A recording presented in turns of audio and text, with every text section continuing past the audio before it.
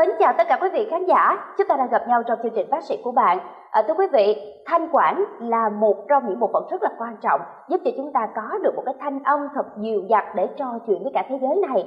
Tuy nhiên thì thanh quản cũng có thể mắc nhiều loại bệnh thưa quý vị. Trong đó thì có căn bệnh u nhú dây thanh quản gặp phải ở cả người lớn và cả ở trẻ em với những cái biểu hiện khiến cho người bệnh cảm thấy rất là khó chịu và bất tiện trong cuộc sống. Vậy thì làm sao để nhận diện được căn bệnh này, điều trị căn bệnh có dễ hay là không? Hãy cùng gặp gỡ và trò chuyện với bác sĩ chuyên khoa 1 Lý Phạm Hoàng Vinh trong chương trình ngày hôm nay quý vị nhé. Xin chào bác sĩ ạ, à. cảm ơn bác sĩ đã đến với chương trình. Xin chào Diễm Loan, xin chào quý vị khán giả đang xem chương trình truyền hình. Thưa bác sĩ, trước tiên xin nhờ bác sĩ có thể cho quý vị khán giả được biết là u nhú dây thanh quản đó là căn bệnh như thế nào ạ? À? U nhú dây thanh quản là một tổn thương lành tính ở trên bề mặt thanh quản và phần thanh quản chính là phần ở cổ của chúng ta. Nó giữ chức năng về hô hấp và phát âm. Nó nằm dưới vùng họng miệng và nối tiếp bên dưới với khí quản và phế quản. Như vậy thì những cái biểu mô có sự quá phát về cái gai nhú ở trên bề mặt sẽ làm cho cái hiện tượng là trên thanh quản có những cái nhú li ti hoặc là lớn như là những trái dâu và tạo thành bệnh là u nhú thanh quản Bệnh này thì thường là xuất hiện ở cả người lớn và trẻ em. Tuy nhiên mà độ tuổi thường hay gặp nhất là ở trẻ từ 1 đến 4 tuổi. Bệnh này khá là nguy hiểm và nếu không được phát hiện sớm cũng như điều trị kịp thời thì sẽ có thể dẫn đến những biến chứng nguy hiểm về mặt hô hấp và chức năng à, nói của bệnh nhân. Dạ, như vậy thì căn bệnh này có nguyên nhân xuất phát là do đâu thưa bác sĩ? À, về bệnh u nhú thanh quản thì nguồn gốc của bệnh cũng chưa được làm rõ ràng. Nguyên nhân của u nhú thanh quản có thể là về nội tiết, về miễn dịch và cũng có nguyên nhân do virus mà nguồn gốc à, đa số các nghiên cứu cho rằng thì nguyên nhân HPV hay là Human Papillary Virus là virus gây bệnh chủ yếu của bệnh u nhú thanh quản. Ở trẻ em thì đa số là các cháu bị nhiễm khi sinh thường qua đường âm đạo. Của người phụ nữ bị nhiễm HPV có một số yếu tố nguy cơ cho rằng trẻ dễ bị mắc ung nhú thanh quản. Ở người mẹ trẻ có à, lần sinh à, đầu tiên và sinh thường qua ngã âm đạo. Còn à, ở cả người lớn và trẻ em thì u nhú thanh quản có nguy cơ ở những người mà có hệ miễn dịch bị suy giảm à, dinh dưỡng kém và hút thuốc lá như vậy thì triệu chứng của căn bệnh ra sao để chúng ta có thể nhận diện được căn bệnh này thưa bác sĩ? Bệnh sẽ biểu hiện ra ở việc thay đổi giọng nói cũng như là thay đổi chức năng hô hấp. Như vậy thì bệnh nhân thường đến với bác sĩ à, trong tình trạng là khàn tiếng hoặc biến đổi giọng nói.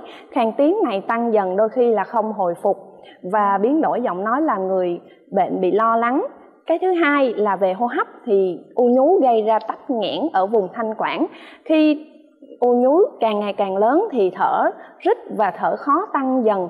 Bệnh nhân khò khè ở trẻ nhỏ thì khó phát hiện hơn. Trẻ sẽ thở lõm và thở khò khè. Thở rít thì hít vào, thở khó tăng dần lên và đến gặp bác sĩ. Bệnh u nhú thanh quản sẽ được chẩn đoán với việc là nội soi thanh quản và phát hiện ra những tổn thương dạng li ti hoặc dạng sùi nhưng chẩn đoán chính xác nhất vẫn phải là phẫu thuật và sinh thiết những khối u này từ đó gửi giải phẫu bệnh mới ra được tính chất của u là u nhú thanh quản bên cạnh đó u cũng có thể được làm PCR để xét nghiệm xem có virus HPV ở trong đó hay không à thưa bác sĩ như vậy thì Loan thắc mắc như thế này nếu như mà cái căn bệnh u nhú dây thanh quản không có được điều trị à, chúng ta cứ cố gắng chịu đựng nó thì nó có dẫn đến những cái biến chứng nguy hiểm hay không ạ? À? Dạ. U nhú thanh quản thì khá là nguy hiểm bởi vì à, thanh quản là vùng à, mà chúng ta dùng để hít thở mà cho nên nếu như mà không được điều trị thì u càng ngày càng lớn có thể là tắc nghẽn đường hô hấp và gây suy hô hấp. Một số tình trạng khá là nguy hiểm khi mà u nhú rơi vào cái khí phế quản bên dưới và làm bệnh nhân tắc thở và gây suy hô hấp. Một số tình trạng khá là nguy hiểm khi mà u nhú rơi vào cái khí phế quản bên dưới và làm bệnh nhân tắc thở và có thể tử vong à, trên đường đi đến bệnh viện bên cạnh đó là bệnh nhân bị khàn tiếng sẽ thay đổi chất lượng cuộc sống. Họ cảm thấy rất khó chịu và không còn tự tin giao tiếp nữa. Và dù là ít thôi nhưng tỷ lệ à, thoái hóa ác tính tức là trở thành ung thư khoảng 0,33% thôi nhưng vẫn có sẽ làm cho tiến triển đến bệnh ung thư.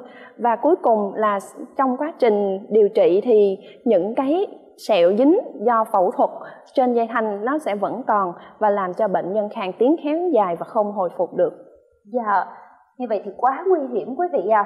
à, tốt nhất là khi chúng ta có những cái triệu chứng như bác sĩ vừa chia sẻ thì nên đi gặp bác sĩ để được thăm khám ngay ạ à. và ừ, các bệnh nhân sẽ được điều trị như thế nào thưa bác sĩ À, về bệnh u nhú thanh quản thì phương pháp điều trị cũng còn đang được nghiên cứu và phương pháp tối ưu hiện nay chỉ là phẫu thuật cắt à, tối đa những cái tổn thương u nhú ở trên thanh quản.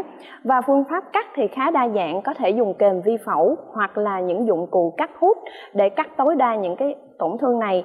Tuy nhiên, việc cắt thì không thể loại bỏ hoàn toàn và bệnh có thể tái phát. Thì bác sĩ cũng gặp nhiều trường hợp là có thể cắt ừ, vài chục lần và đôi khi ừ, trong một vài trường hợp thì tự giới hạn khi bệnh nhân là trẻ em đến tuổi dậy thì, trưởng thành thì tự ngưng bệnh. Một số thì cứ phải tái khám để cắt ừ, phần u nhú này bên cạnh đó thì à, bác sĩ cũng lưu ý rằng cần cái nâng cao cái sức khỏe miễn dịch từ đó à, giúp vượt qua được cái à, bệnh tật dạ à, thưa bác sĩ nghe qua căn bệnh này thì thật sự là mình cảm thấy lo lắng quá bởi vì cái nhóm đối tượng mắc nhiều lại là trẻ nhỏ nữa vậy thì không biết là chúng ta đang phòng bệnh uh, cho cả đối tượng trẻ nhỏ và người lớn như thế nào ạ à? có khác nhau gì hay không ạ à? à do bệnh ung nhú thanh quản thì cũng có liên quan đến virus HPV cho nên có thể khuyến cáo là chúng ta có thể chích ngừa virus HPV nhưng mà hiệu quả thì cũng còn chưa được công nhận rõ ràng. Bên cạnh đó thì ở trẻ sơ sinh thường là mắc ừ, do sinh thường qua đường âm đạo. Như vậy, người phụ nữ trước và trong quá trình mang thai đều cần thăm khám và điều trị các bệnh này để tránh lây cho con virus HPV qua đường âm đạo về mặt người lớn dù nguyên nhân chưa rõ ràng nhưng cũng hạn chế hút thuốc lá.